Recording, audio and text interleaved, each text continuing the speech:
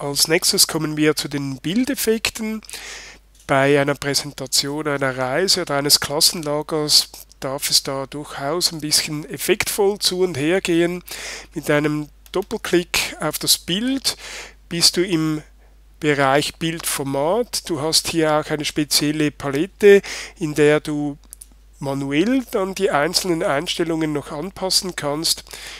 Da gehe ich gar nicht groß darauf ein, da kannst du selber ein bisschen ausprobieren.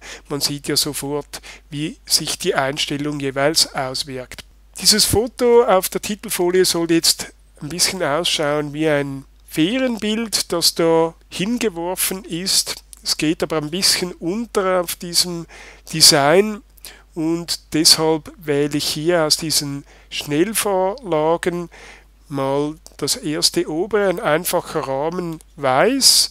Jetzt kommt es schon viel besser zur Geltung. Es wird so eine Verbindung zu diesem Titel, der ebenfalls weiß ist, aufgebaut.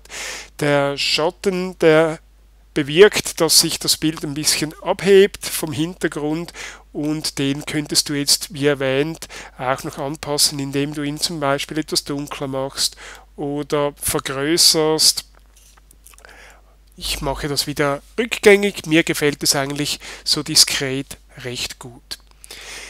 Ja, du siehst, hier oben hast du ganz viele weitere Effekte. Du könntest auf das Bild selber einwirken, dass so grafische oder Filtereffekte noch zum Wirken kommen.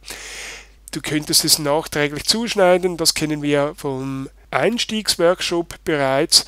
Ich gehe jetzt da nicht mehr weiter darauf ein, da empfehle ich dir einfach auszuprobieren. Etwas weiteres, was ich dir noch zeigen möchte, auf dieser zweiten Folie wirkt diese Europakarte doch etwas gar plump mit diesem Rahmen. Schöner wäre sie, wenn sie wie hier in den Hintergrund hinein montiert wäre. Das lässt sich in diesem Fall sehr einfach machen, weil diese Hintergrundfarbe der Karte ein einheitliches Weiß ist.